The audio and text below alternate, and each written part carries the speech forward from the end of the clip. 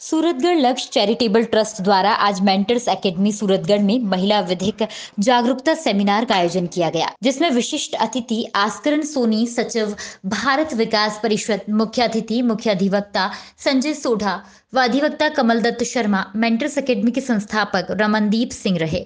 व सेमिनार की अध्यक्षता लक्ष्य चैरिटेबल ट्रस्ट के संस्थापक सुशील कुमार शर्मा ने की।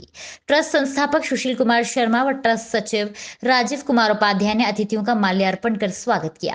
मुख्य अधिवक्ता संजय सोढ़ा ने अपने भाषण में महिलाओं के कानूनी अधिकारों के बारे में चर्चा की और महिला सशक्तिकरण के बारे में बताया और कहा कि कर्तव्य व अधिकार एक सिक्के के दो पहलू हैं।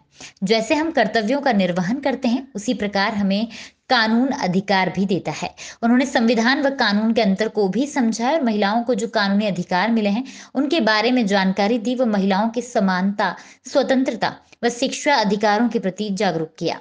उनके पश्चात अधिवक्ता कमल दत्त शर्मा ने भी बालिकाओं व महिलाओं की सुरक्षा कानूनी अधिकारों के बारे में जानकारी दी।